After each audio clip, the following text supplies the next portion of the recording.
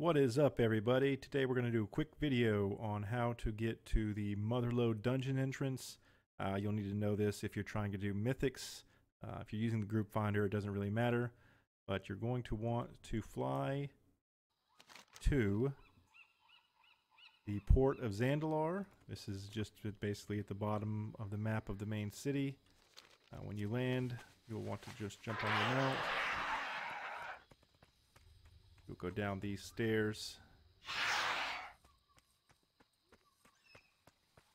And to your right. And you'll see the entrance for right here. And the summoning stone. So you end up basically in the bottom left corner of the huge main area here.